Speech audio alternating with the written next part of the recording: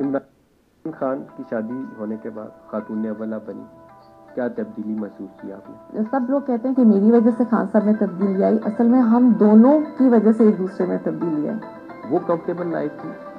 کہ جس میں بشرا بی بی کہیں بیٹھی ہیں تنہائی میں یا کسی کو ضرورت پڑ گئی ہے کوئی درد مند انسان آ گیا کوئی سوال لے کر آپ سے پوچھنے کے لیے یا کوئی رہنمائی چاہیے اسے گائیڈنس چاہیے یا یہ بہتر محسوس کرتی ہیں؟ اس زندگی میں لوگ اللہ رسول کے قریب ہونے کے لیے میرے پاس آتے تھے۔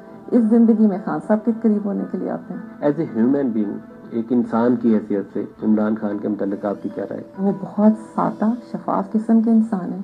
دنیا کی کسی چیز کا بھی ان کو لالچ نہیں عمران خان کی شادی ہونے کے بعد خاتون اولا بنی۔ کیا تبدیلی محسوس کی آپ نے؟ سب لوگ کہتے ہیں کہ میری وجہ سے خان صاحب میں تبدیلی آئی۔ اصل میں ہم دونوں کی وجہ سے ایک دوسرے میں تبدیلی آئی۔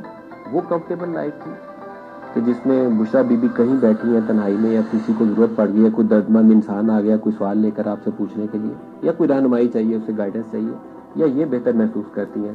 اس زندگی میں لوگ اللہ رسول کے قریب ہونے کے لیے میرے پاس آتے تھے۔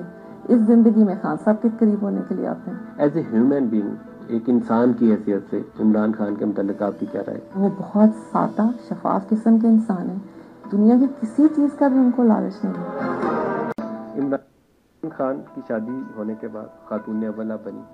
کیا تبدیلی محسوس کی آپ نے؟ سب لوگ کہتے ہیں کہ میری وجہ سے خان صاحب میں تبدیلی آئی۔ اصل میں ہم دونوں کی وجہ سے ایک دوسرے میں تبدیلی آئی۔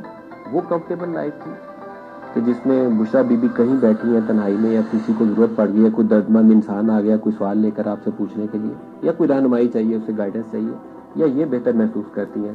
اس زندگی میں لوگ اللہ رسول کے قریب ہونے کے لیے میرے پاس آتے تھے۔ اس زندگی میں خان صاحب کے قریب ہونے کے لیے آتے ہیں ایز اے ہیومن بینگ ایک انسان کی حیثیت سے عمران خان کے متعلق آپ کی کیا رائے؟ وہ بہت سادہ شفاف قسم کے انسان ہیں۔ دنیا کی کسی چیز کا بھی ان کو لالچ نہیں۔ ہے